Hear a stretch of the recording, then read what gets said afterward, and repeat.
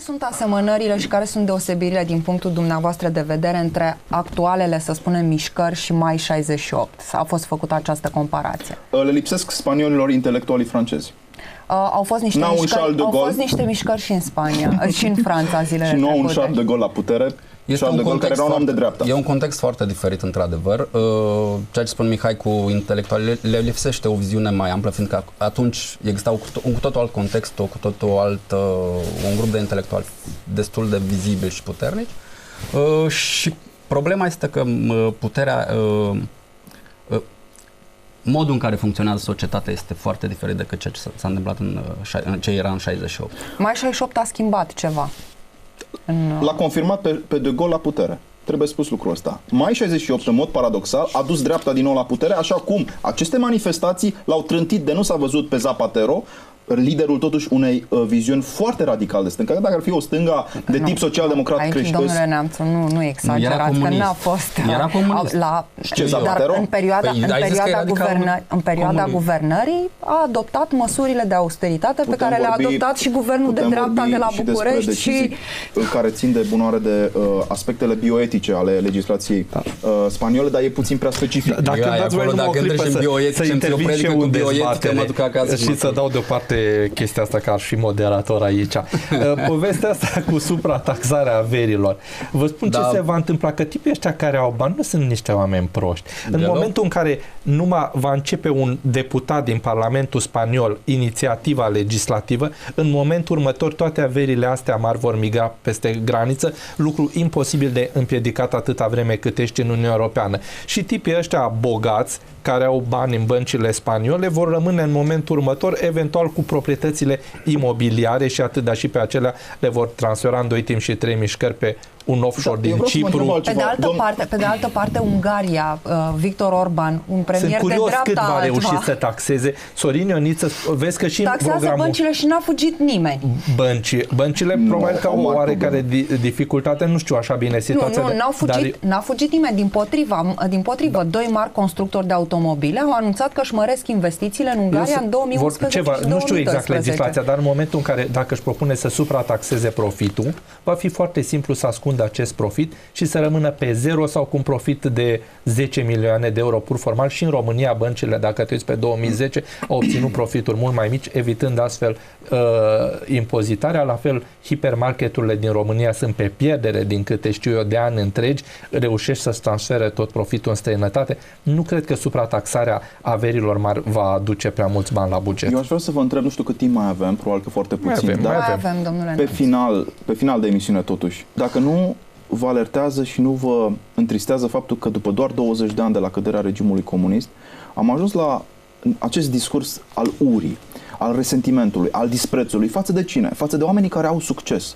față de oamenii care câștigă, față de oamenii care au proprietăți, față de bogați, așa cum discursul urii a fost cel care a confiscat mintea, sufletele și imaginația a milioane de oameni în 1945, 47 și 50, când chiaburii, cei care aveau boierii, cei care aveau proprietăți, sute de hectare, au fost băgați în pușcărie, au fost întâi suprataxați pentru că cotele Întâi cotele au venit, care erau foarte mari și care erau prohibitive în anii 47-48 Și nu le puteau și, plăti. apoi au venit după Era aceea și altceva, arestările. era altceva. Acest lucru, e altceva, dar totuși acest lucru, această familiaritate pe care eu o resimt în discursul domnului Neon, pe care simpatizez din motive pe care nu le pot explica acum în în public. Ar trebui, Îl Mihai, simpatizez să ai probleme pentru că, psihanalizabile. pentru că văd în, în, în el un om care cândva, Va cândva fi de dreapta. se ocupa și de lecturile uh, sfinte, dar totuși l-a părăsit uh, în beneficiul lui Karl Dar Marx. roagă-te, roagă-te. Însă, însă o fac alții și mai bine decât mine pentru dumneavoastră. Dar uh, pe mine mă neliniștește faptul că tineri, al minter, repet, cu înzestrări care merită aplaudate, uh, se întorc la acel discurs al urii, al resentimentului, al Împotriva, disprețului. împotriva celor bogați. Împotriva Este- celor care au succes. Și asta nu mi se pare normal pentru o societate. Noi ar trebui să răsplătim și ar trebui să n- îi, îi lăudăm și ar trebui să-i admirăm pe cei care au succes. Îmi Eu pare sunt de foarte acord. rău, Eu nu pot să-i admir pe toți cei care au succes. Eu am o ultimă frază de, și cu asta las pe Vasile Ernu să spună. Deci eu am o ultimă frază de adăugat la chestiunea asta. Sunt de acord cu dumneavoastră că socialismul are o unică problemă, socialismul, și capitalismul are o altă unică problemă, capitaliștii. Adică, într-adevăr, există o sumă destul de consistentă de capitaliști care nu se ridică la înălțimea probabil descrierii mele puțin idealiste cu privire la filantropie și la generozitate, dar e o altă problemă moralitatea indivizilor și o altă problemă chestiunea de sistem. Sistemul totuși capitalist permite ca și filantropia, ca și generozitatea să, să se exercite, dar și ca, ca prosperitatea să iasă la suprafață. Ori eu n-am cunoscut o țară socialistă sau comunistă care să fi produs prosperitate. Uitați-vă la Corea de Nord sau la, uh, știu și eu, uh, Germania de Est în perioada anilor 50 și veți vedea diferența. Bun, okay. uh, domnul Mihai Nanțu atrage atenția că în această mișcare, să spunem așa, există un pericol al întoarcerii la o ordine pe care noi, cel puțin aici în România, am cunoscut-o. Da? Mm există acest pericol? Pentru că, într-adevăr, dacă mă uit pe acest program, naționalizarea uh, proprietăților imobiliare uh, îmi seamănă cu naționalizările și exproprierile din timpul perioadei comuniste.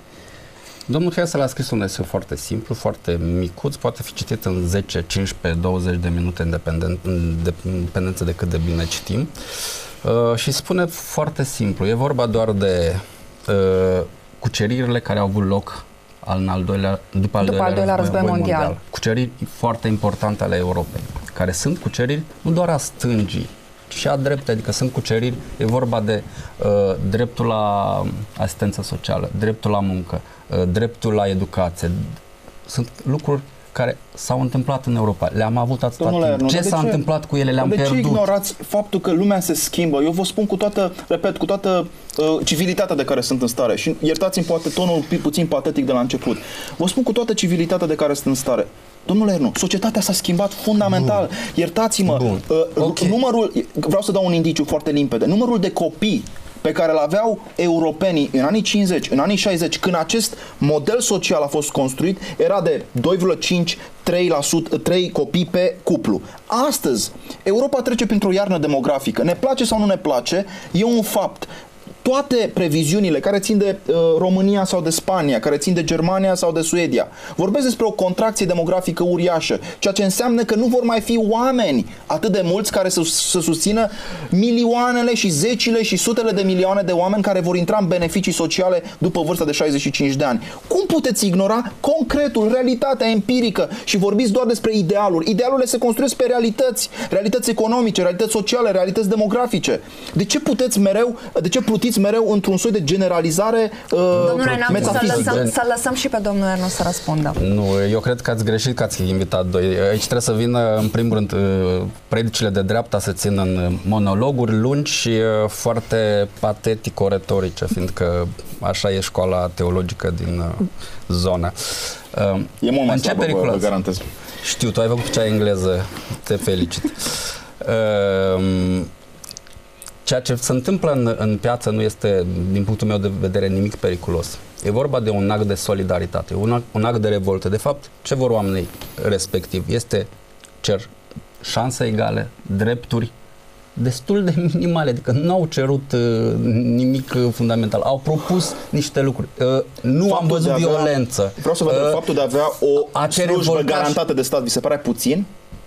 Faptul de a avea o slujbă garantată de stat, că ești bun, că ești prost, că ești harnic, că ești genial, faptul de a avea o slujbă garantată de stat, vi se pare na- natural? Nu, vi se pare normal?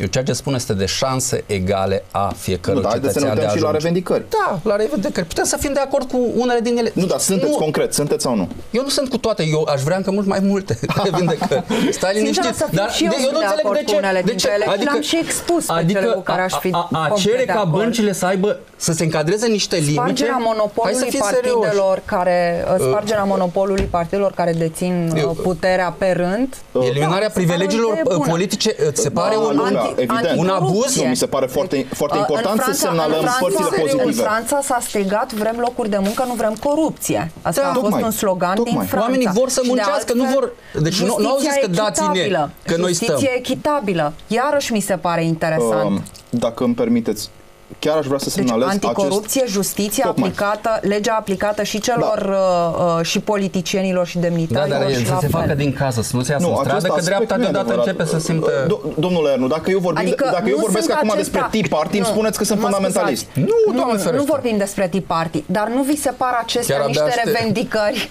Nu, nu vorbim acum. Uh, nu sunt acestea niște reven... și acestea niște revendicări legitime? Ba da, eu cred că în aceste manifestații din Spania avem de-a face cu revendicări în parte legitime, cele care afectează corupția, de pildă, sistemică. Avem peste 700 de dosare, înțeleg, la înalta curte de justiție din Spania care se judecă dosare ale politicienilor de stânga și de dreapta, 265 după, ști, după știința mea, socialiști, 200 uh, uh, populari. Avem revendicări legitime în care, care privesc eventual aceste privilegii individuale ale politicienilor, dar avem și semnalmente teribile, uh, după părerea tulburătoare, care vorbesc despre o recrudescență a ideilor colectiviste de stânga, care afectează tot, toată Mediterana și care pot să ne coste foarte mult pe noi ca europeni.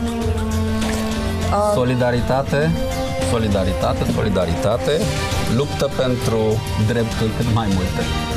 Cu puterea trebuie să fim întotdeauna într-un raport de luptă. Mihai preferă un raport de subordonare, supunere. Eu prefer să negociez. Bun, Eu prefer vă un raport mulțumim să inteligent. continuăm discuția pe hol. Uh, mulțumim, vă invităm mâine seară la Foc Încrucișat la ora 21.